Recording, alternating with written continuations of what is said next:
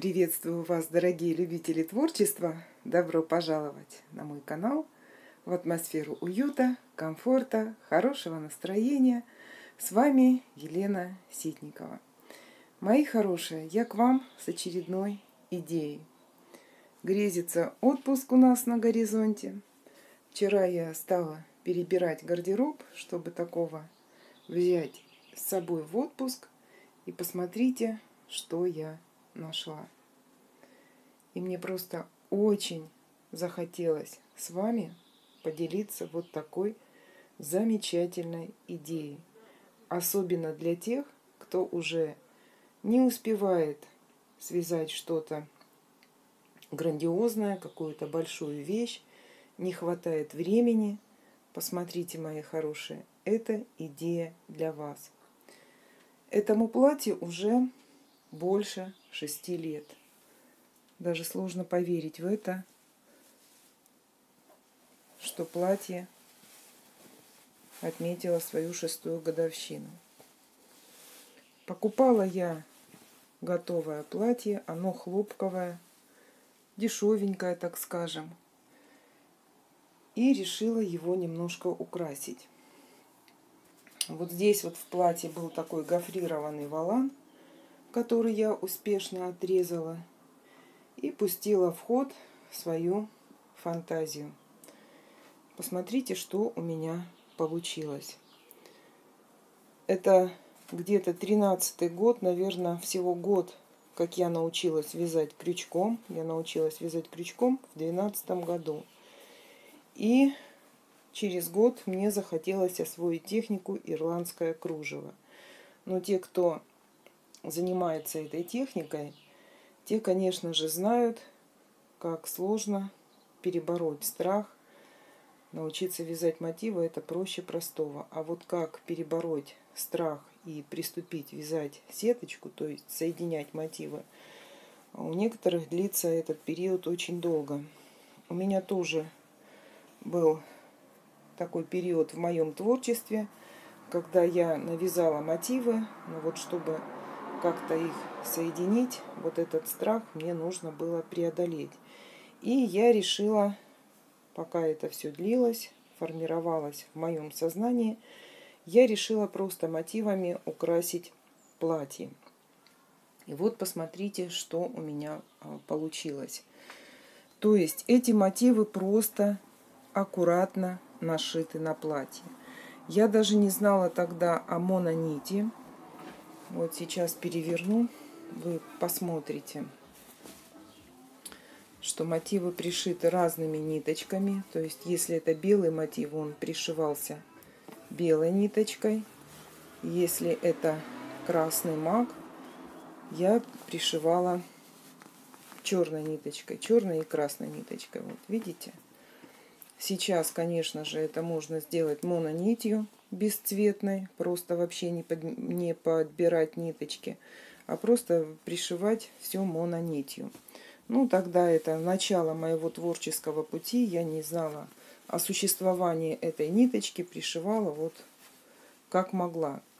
Хочу честно сказать, что чтобы вот так аккуратно пришить, понадобится где-то день-два чтобы все аккуратненько вот так вот было пришито. Но поверьте, оно того стоит. Я обожаю это платье. Я вот э, как-то подзабыла немножко про него. А сейчас просто с удовольствием возьму его в отпуск и буду с удовольствием носить его в отпуске. Здесь вот такая еще бретелька, которую я, видите, обвязала кружевом. Это бамбуковая ниточка в два сложения Альпина Вивен. Придумала вот такую каемку, это даже схемы нет, просто вот как, как легли петли, как я говорю. И таким же кружевом я немножко удлинила низ платья, потому что меня а, не устраивала длина. Вот видите? И получилось все достаточно гармонично. В этом платье еще была подкладка такая синтетическая. Я ее отрезала. Вот дальше выверну платье, посмотрите. Ну, просто Вырезала эту подкладку. Она мне не нужна в летнем платье.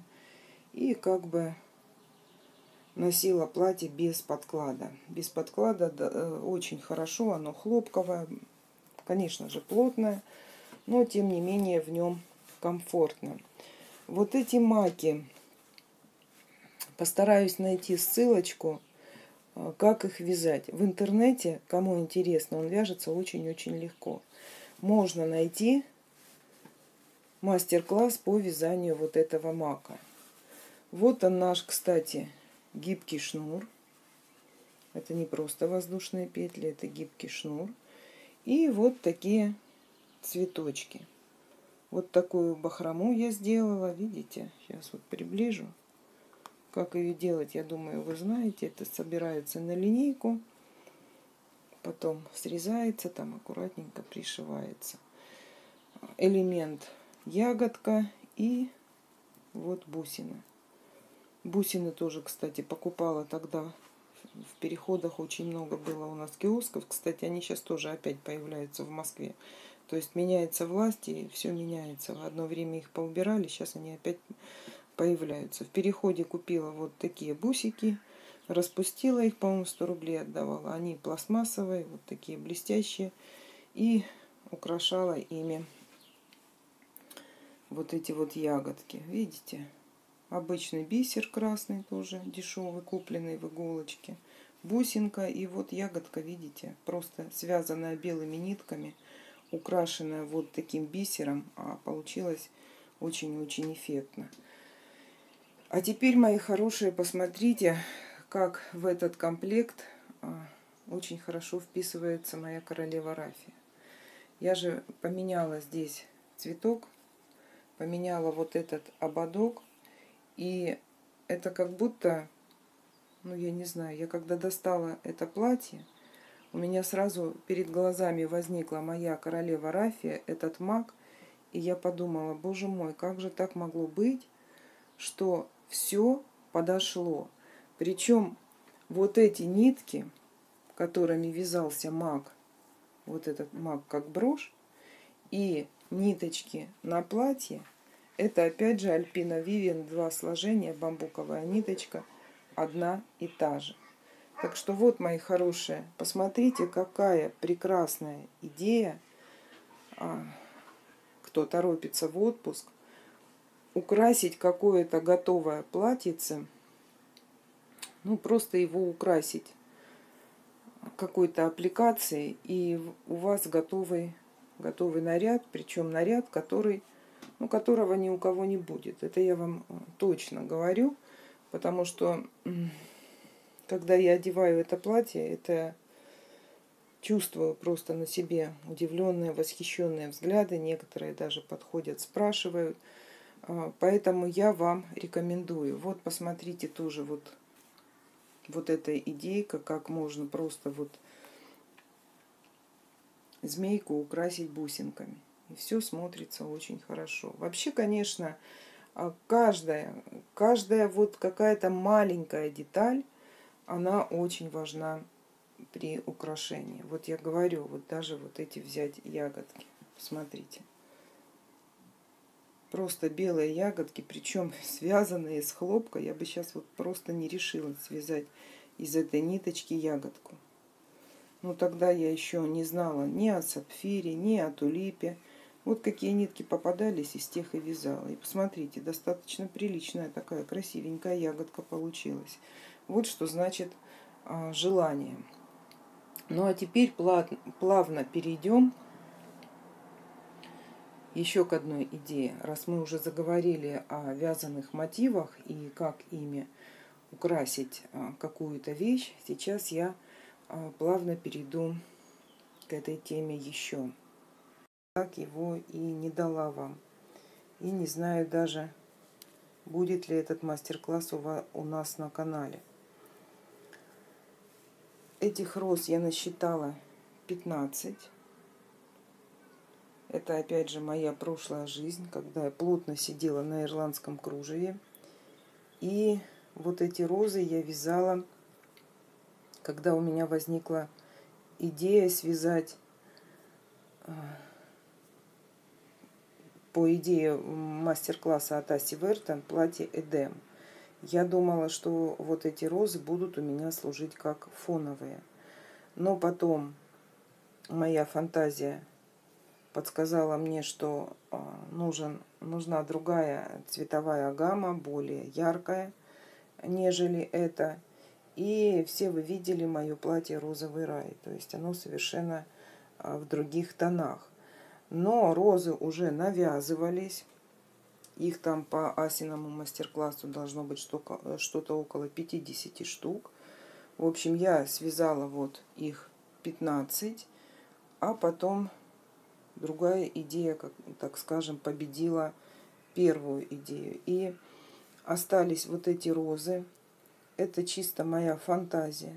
Они все, абсолютно все, обратите внимание, они просто все разных, разной формы. Цвет один, нитки одни, а все-все они разные. Вот какую розу не возьми, она не будет похожа на свою, так скажем, подружку. Обратите внимание. Все разные. Я могу просто вам сейчас на пальцах объяснить, как я это делала. И думаю, что вы э, поймете. Вот если перевернуть розу, видите, она сшитая. Здесь э, обвязанный бурдон. То есть сначала обвязывается бурдон, к этому бурдону потом привязываются вот такие лепестки розы по принципу э, моей розы для ирландского кружева. Есть такой мастер-класс. Делаются уголочки – Потом обвязывается еще ниточкой. Кстати, видите вот эту обвязку, вот эту обвязку, самую последнюю. Это вообще катушечная нить. Тонюсенькая просто катушечная нить. Это очень кропотливая работа. Крючок здесь 0,5. Ой, я сейчас, я просто не решу сейчас на этот подвиг. Я вот смотрю вот на все вот это великолепие и думаю, неужели это была я?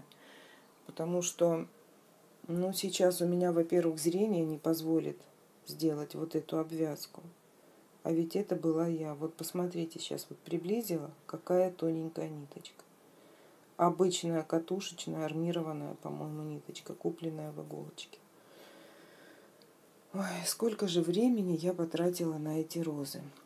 И вот эти листики тоже вязались для платья Эдем.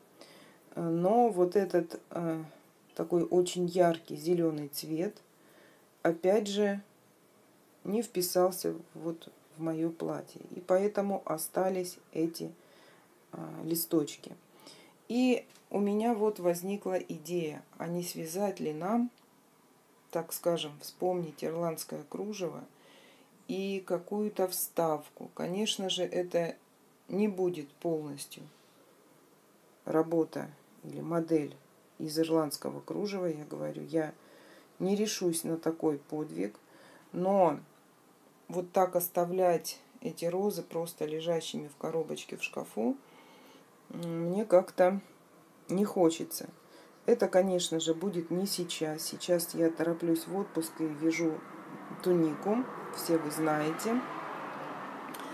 Но вот как идея или, может быть, сделать какую-то аппликацию. Я вот э, просто нужен ваш совет, кто в теме, кто э, занимается ирландским кружевом, дайте идею, чтобы вы э, вот сделали из этих розочек, какая у вас вырисовывается модель. Или это вставка из ирландского кружева с каким-то вязаным полотном, или это аппликация – если возникнут у кого-то идеи, присылайте, пожалуйста, их мне в Одноклассники или ВКонтакте в сообщении. Кто не, не добавился, добавляйтесь в друзья, потому что на Одноклассниках мне могут писать только друзья. Я поставила такой фильтр, и поэтому вот так.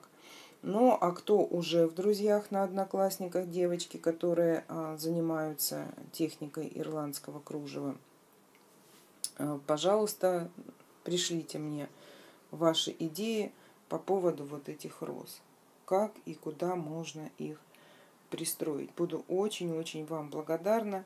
И, возможно, когда-нибудь после отпуска, не буду как бы, ставить себя в какие-то рамки, но э, когда-нибудь мы свяжем с вами вот эту модель, понравившуюся по вашим пожеланиям, по вашим идеям.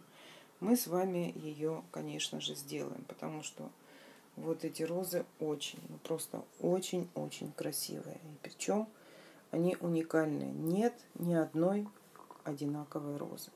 Все разные. Все абсолютно. Так что вот, мои хорошие, поделилась я с вами идеей платья. Вот такой комплектик у меня получился. Очень надеюсь на вашу активность, на ваши комментарии. Давайте общаться. Присылайте ваши какие-то эскизы, какие-то идеи, возможно, ссылки. И мы с вами что-нибудь после отпуска забацаем. Ну а на этом я буду заканчивать свое видео. Всех люблю и до новых встреч. С вами была Елена Ситникова. Пока.